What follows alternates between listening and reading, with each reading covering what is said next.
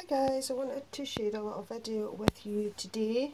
Um, it is a prosperity oil. Now I have um, a particular recipe that I have been letting uh, steep and do its thing um, for probably the last, wait till I think, I'm multitasking here so bear with me, um, probably for the last couple of months so it's pretty potent stuff but I need all the potency I can get when it comes to prosperity magic. Um, and the way I'm working my um, money magic at the moment is a very specific way so I kind of need to have oil on the ready on the go.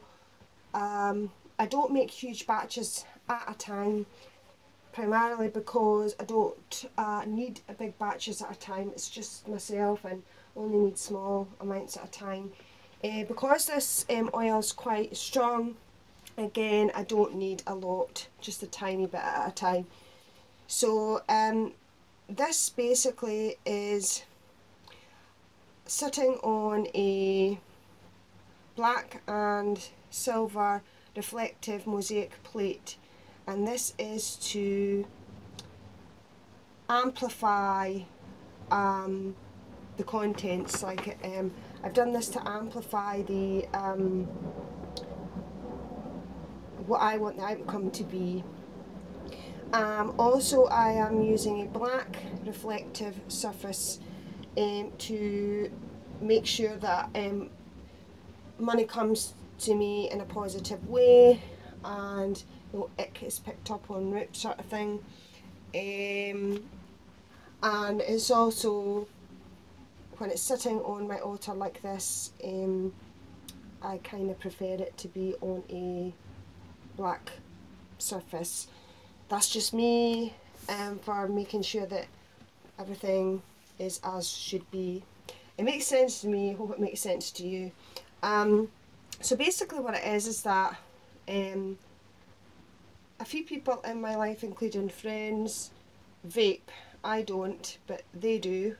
And there was one time uh, one of my friends was vaping and they actually said to me something about, could you not use these in your practice?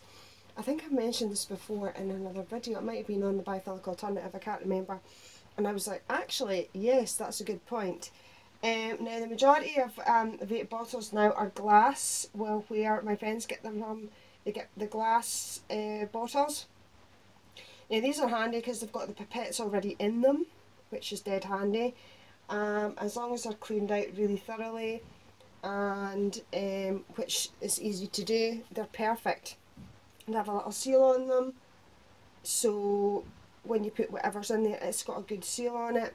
You can use the pipette for if you need to drop um, the oil into anything or even in some cases to measure out so many drops to use for anointing candles and that so you don't make so much of a mess and you don't over you know uh, gauge how much you need. Um, so pretty much all I have done is I have made my usual prosperity oil in a bigger batch than this. I actually make a batch in a size of a see I've got one to show you. I do.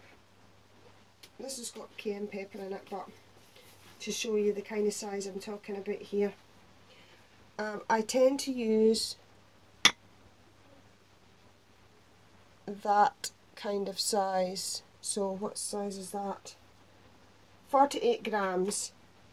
Now this size is enough to do me quite a while um, can even do me as long as six months depending how often I'm using it and for what. Um, so basically again I will recycle my herb um, and spices jars and I will um, put them in that. Now the thing is about that is um, when I make my batch what I have to do is I have to have enough of these little bottles here to um, siphon out the mixture, the oil, into enough of these little pipette bottles because the um, The herb and spice jars don't have a seal on them because um, obviously you take the sort of plasticky, papery, foily seal off when you go to use your herbs when you first open them and obviously that is a protective thing. Obviously when you shut the lid over that's fine if you've got herbs and spices in it in your kitchen for example or even in your witch cabinet but when it comes to oils um, I don't want to take a chance of them going funny or anything like that so I like to make sure they're sealed and in these little bottles they are definitely sealed. They are also there's different colours. There's the ambery colour like this one and then there's also blue ones. Now I have got a few of these little bottles made up. Um, so how many have I got? Wait till I think.